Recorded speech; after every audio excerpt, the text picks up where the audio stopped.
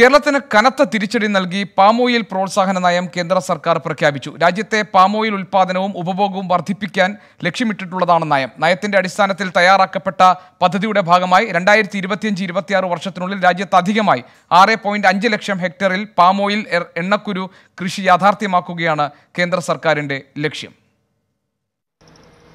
വടക്ക് കിഴക്കൻ സംസ്ഥാനങ്ങളുടെയും ആൻഡമാൻ നിക്കോബാർ ദ്വീപുകളുടെയും താൽപര്യാർത്ഥമാണ് രാജ്യത്ത് പാമോയിൽ ഉൽപാദനത്തിനും ഉപഭോഗത്തിനും പ്രാധാന്യം നൽകാനുള്ള കേന്ദ്ര സർക്കാർ തീരുമാനം. ഇന്നലെ ചേർന്ന കേന്ദ്രമന്ത്രിസഭാ യോഗത്തിൽ പാമോയിൽ വ്യാപന പ്രോത്സാഹന നയം സർക്കാർ അംഗീകരിച്ചു. രണ്ടായിരത്തി ഇരുപത്തിയഞ്ചിൽ ഇപ്പോഴുള്ളതിനേക്കാൾ പതിനൊന്ന് ലക്ഷം ടൺ പാമോയിൽ ഇന്ത്യയിൽ ഉൽപ്പാദിപ്പിക്കുകയാണ് ലക്ഷ്യം.